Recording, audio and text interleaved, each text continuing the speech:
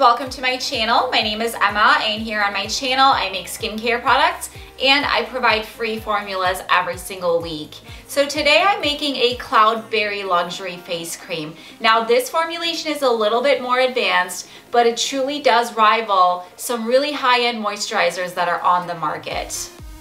This product contains some really lovely moisturizing ingredients, including cloudberry seed oil, rosehip seed oil, camellia seed oil, and mango butter. For hydration, I've included hyaluronic acid, glycerin, and niacinamide.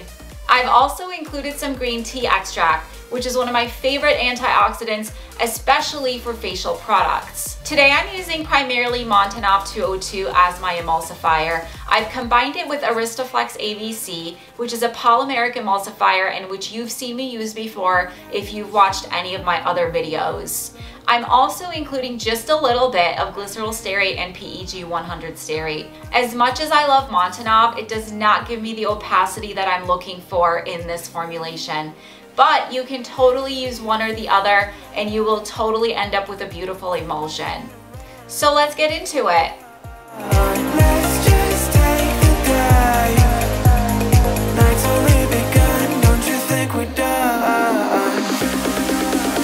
So I have already weighed out all of my ingredients. This beaker contains 63.75 grams of distilled water and to that, I am adding two grams of propanediol 1,3. This is one of my favorite humectants. Don't you think we're done? And five grams of a 1% hyaluronic acid solution.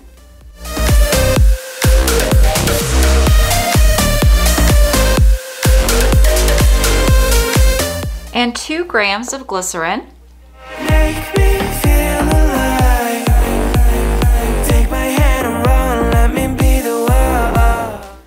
2 grams of niacinamide,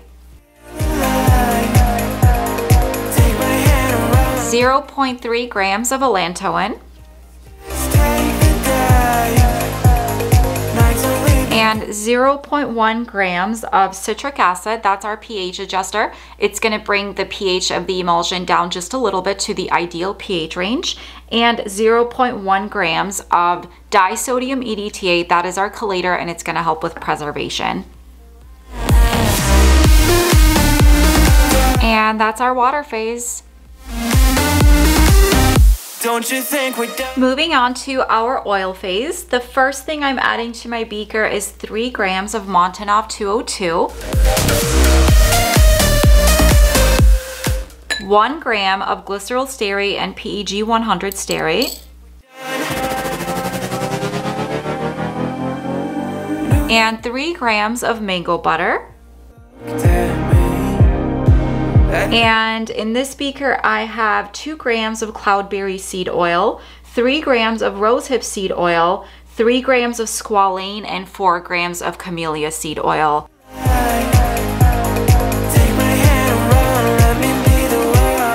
And one gram of Aristoflex AVC. And lastly, one gram of a spherical silicone powder. I really don't know how to pronounce it. I will put it on the screen, but this functions as a skin conditioner and a texturizing agent.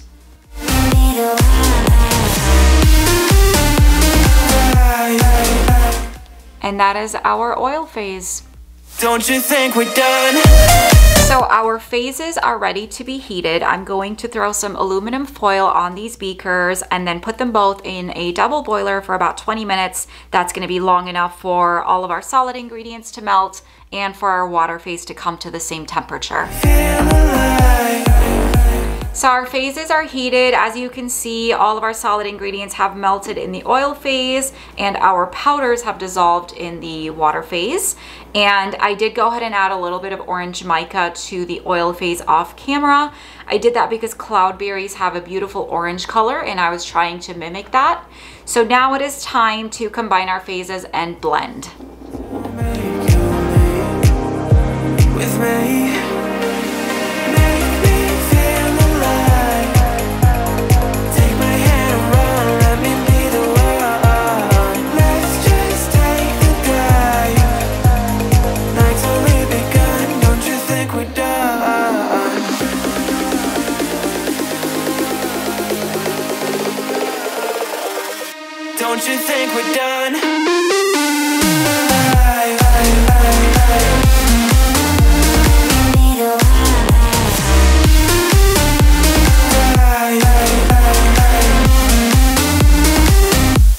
You think we're done?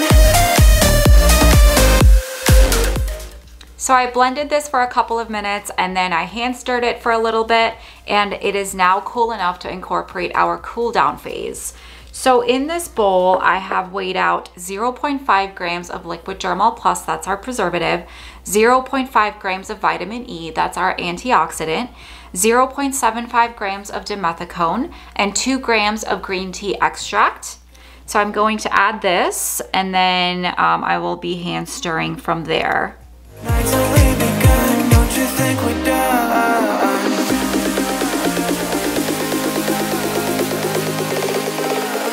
So the emulsion has reached room temperature and is now ready to be packaged.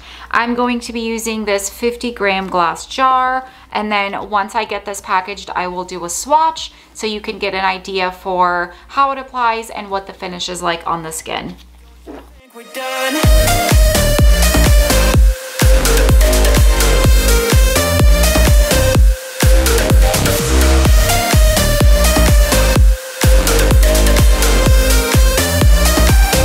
Don't you think we're done? So I just want to show you what this looks like up close in the jar. And hopefully you can see that it's very smooth and it forms these peaks in the jar.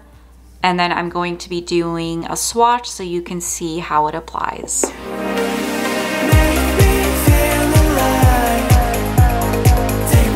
So as you can hopefully see, it really does have a tremendous amount of slip and glide. That's from the inclusion of the Aristoflex AVC and the glycerol stearate and PEG 100 stearate, as well as the silicones that I used. And it also absorbs pretty quickly.